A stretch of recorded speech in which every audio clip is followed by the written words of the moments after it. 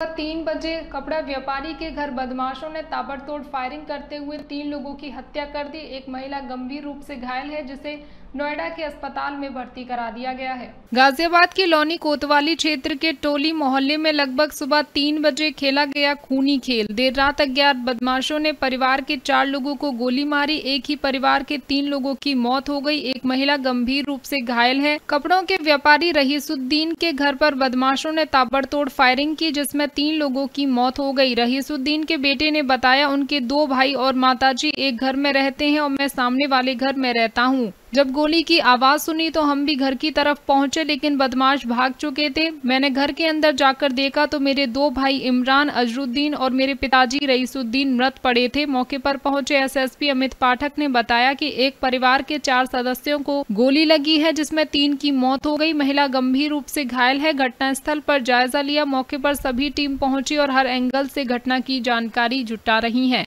सुधाकर चौहान, गाजियाबाद, समाचार ट्वेंटी ये पूरा मामला क्या था थाना लोनी क्षेत्र में एक मामले में आज एक परिवार में, रात्रि में चार सदस्यों को गोली लगने की सूचना प्राप्त हुई और जिसमें से अभी तीन लोगों की मृत्यु हो गई है और एक महिला घायल है जिनका उपचार चल रहा है। घटनास्थल का हम लोगों के द्वारा निरीक्षण किया, फ़ील्ड यूनिट और डॉग स्क्वाड यहाँ मौके पर मौजूद है। घटना के कारणों की जानकारी की जा रही है। जो घायल हैं उनका इलाज सुनिश्चित कराया जा रहा है। और हमारी थाना लोनी सर्किल की तीन टीमें इसमें अलग अलग पहलुओं पर इस समय वर्तमान में जाँच कर रही है। तो क्या कोई लूट का मामला सामने आया? अभी इसमें सारे तथ्य नहीं आए हैं। बहुत जल्दी जैसे बाकी तथ्य आ जाएँगे आपको यहाँ घटना ये हुई है, जब हमें पता लगा रात, सुबह के रात के टाइम में फ़ोन आया कि ऐसे ऐसे उसके गोली मार दिया चुका जैसे हम भगे भाई तो यहाँ यानी मौके पे नहीं क्या नाम हमने देखा तो उन्हें अस्पताल ले जा रहे थे। तो यहाँ तो बिल्कुल ख़त्म हो चुके थे वे। तो जब इसने अस्पताल ले गए तो हम फिर अस्पताल ले गए, पुलिस फोर्स आ गई थी। ये दो और तीन के बीच में, ये ढाई के ढाई के ये लोग नहीं देख पाए हम। जो मोहल्ले वालों ने देखा भगते हुए भी, उन्हें जाते हुए भी। तो नहीं ये नहीं पता पड़ा गोली लगी चार लोगों को तीन तो उनकी मौत होगी तीन की। एक अज्जू की इमरान की हाजी रईसुद्दीन की। फोर्टिस में।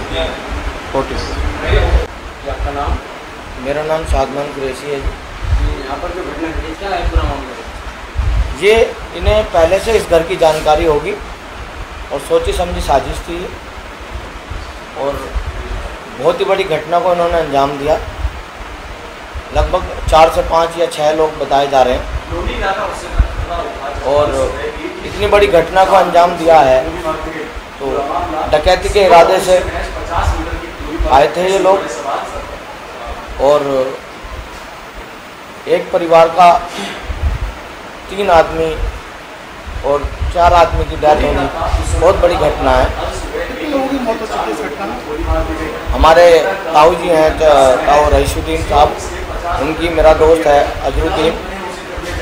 और उसका छोटा भाई जो है उसकी भी डेथ हो चुकी है। अभी हमारी जो ताई जी हैं उनकी सीरियस हालत क्रिटिकल हालत बताई जा रही फोर्टिस हॉस्पिटल में। ये लगभग रात को तीन बजे चार तीन बजे ढाई बजे की घटना है। लोगों ने देखा है यहाँ पे। उन्हें भागते हुए क्योंकि जब उन्होंने आवाज़ दी बड़े बड़े वाले लड़के को रियाज भाई को तो लोग कुछ खड़े थे उनको भाई क्या हुआ? वो कहने लगे कि नहीं, नहीं कुछ नहीं हुआ वैसी उनको गोली की आवाज़ आई उनको नहीं यहाँ तो ताला लगा हुआ है कोई दिक्कत नहीं। ये सोची समझी साजिश है।